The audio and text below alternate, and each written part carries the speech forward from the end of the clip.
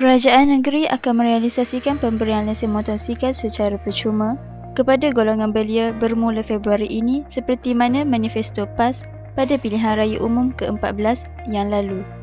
Pengurusi Jawatan Kuasa Pembangunan Belia, Sukan dan Badan Bukan Kerajaan NGO Negeri Wan Sukairi Wan Abdullah mensasarkan 25,000 belia dan belia wanis yang berumur antara 16 hingga 40 tahun akan mendapat manfaat daripada program lesen motosikal Terengganu Sejahtera LMTS ini. 1 Februari merupakan tarikh uh, pendaftaran dan kita akan tutup pada 1 Mac 2019. Artinya program ini uh, pendaftarannya hanya kita buka selama satu bulan sahaja.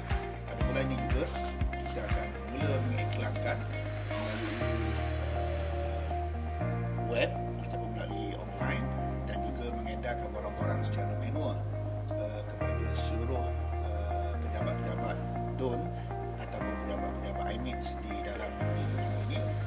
Program ini kita akan uh, apa nama ni mensasarkan seramai 25,000 orang. 25,000 orang uh, belia dan belia wanis yang layak yang berumur di antara 16 hingga 40 tahun.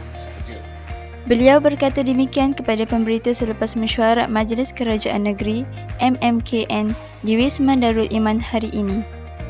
Menerusi pembentangan bajet 2019, Kerajaan Negeri memperuntukkan sebanyak RM7 juta bagi bantuan mendapatkan lesen motosikal untuk golongan belia di negeri ini.